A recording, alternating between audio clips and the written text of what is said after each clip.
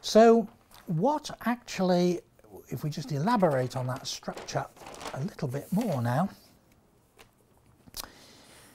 as you will see here, I'm trying to mimic the stack here and I am growing the stack upwards.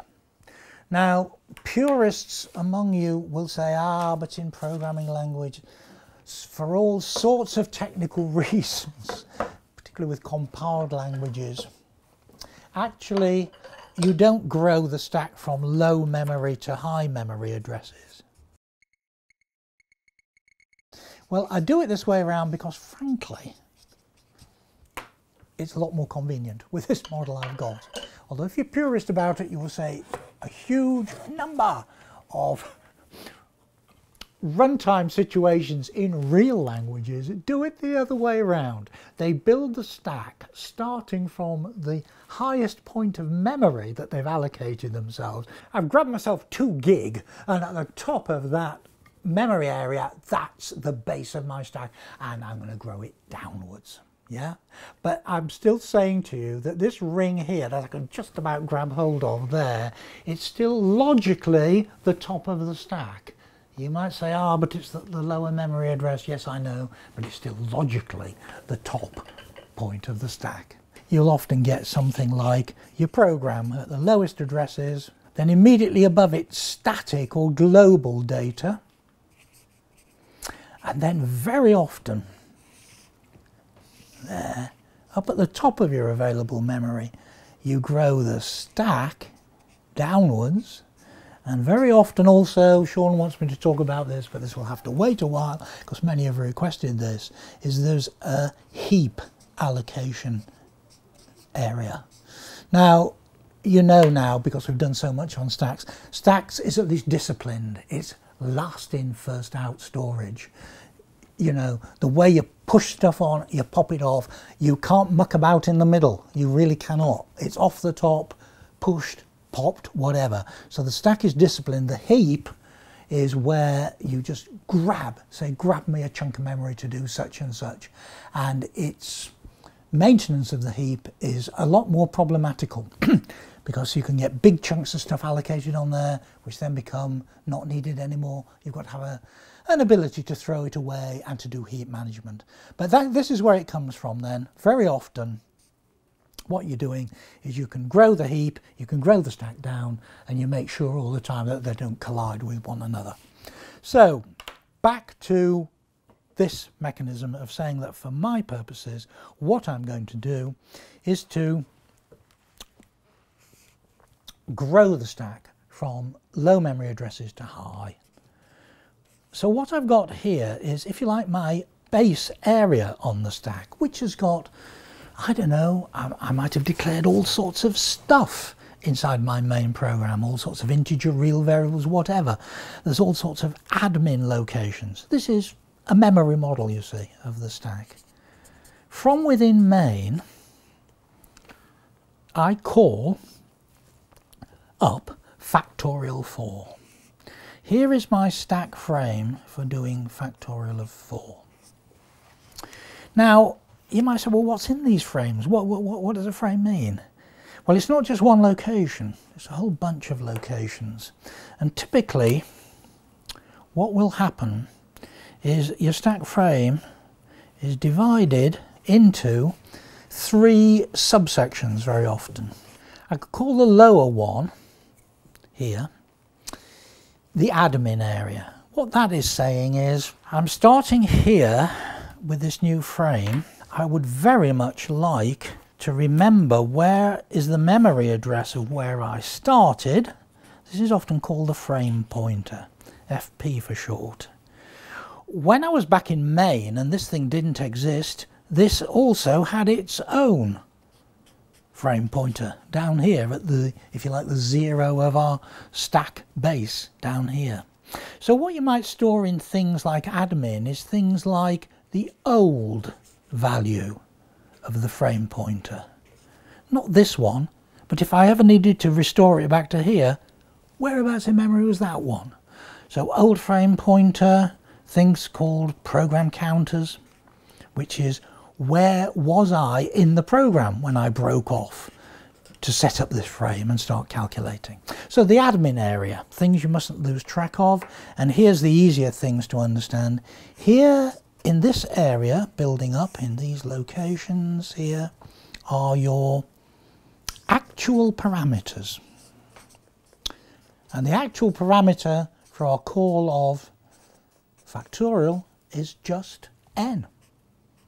In the actual parameter area, we can put ourselves a, a location here that's got, can I squeeze that in? It's actually got our magic 4 in it. What is often the case, not very clear at the moment because factorial is an incredibly simple function. You will remember that although it's got an incoming n, I didn't need in that recursive version to declare any local variables inside of factorial. But let me just say that this part is set aside for your local variables and there might be lots of them. Within factorial you might be declaring real numbers, more integers, more everything.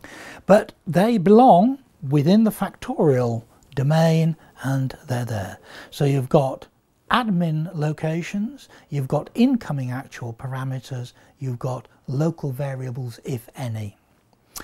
Okay, so what's going to happen now is really incredibly simple, and I've been doing it on here, is I'm saying that I now need to put up a stack frame for factorial 3. Factorial 2. Finally, way up at the top, factorial 1. Now, over here, in a separate area of memory, which is probably actually under here, here is the program area. Here is, in some sense, buried in here is the factorial code.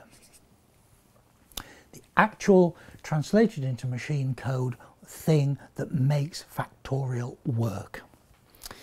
And you remember earlier on, I emphasized to you, can't emphasize too strongly, you are reusing the same code over and over and over again. But and you say, well, how can that possibly work? Why aren't you trampling all over yourself?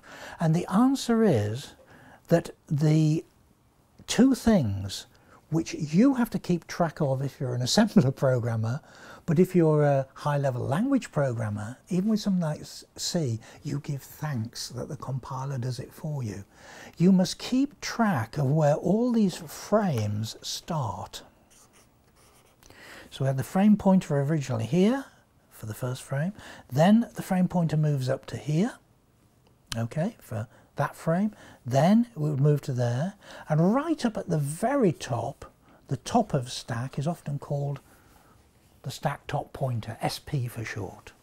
So as big as the stack gets, at the very top it's got a stack pointer, but at various levels down below there are areas of the stack that correspond to the frames and you get one frame for every invocation of factorial.